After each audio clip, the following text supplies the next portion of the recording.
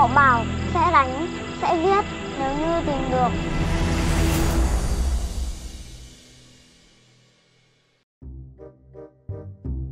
Trả lời lúc đầu là thấy hấp dẫn Ờ.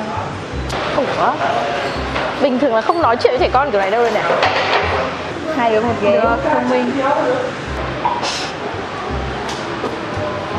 Mà tự hỏi câu này nó hơi vô lý nhỉ? Người Hà Nội với lại người, người miền Bắc thì giống nhau mà nhá cái ngôn từ kiểu chân chất thật, nó thật, nó thật Ngoài, ngoài, ngoài, ngoài thế còn chửi thế thật luôn đấy đúng rồi Nhưng mà cảm giác cũng khó đăng dịch như thế Thường nó phim nó sẽ ở Đúng ra đoạn này nếu mà khách xuống xe hết rồi mà còn lại hai đứa trên xe thì chở hai người xong bắt thêm khách khác thì có phải là được nhiều tiền hơn không nhỉ?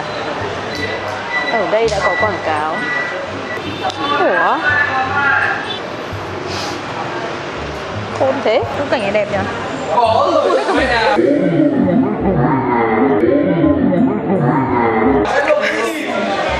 Kinh ngầu quá Kiểu Superman ấy.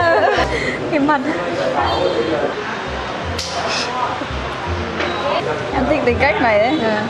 Mặc dù lộ quảng cáo đấy nhưng mà thôi cũng được. Hơi nhiều đoạn hơi vô lý. Nhưng mà nhìn chung thì thông điệp gửi đến là đẹp. Hai diễn viên nhí là hay. Nói chung bộ phim mang đến một cái thông điệp rất là đẹp. Trừ một số tình tiết hơi phi lý.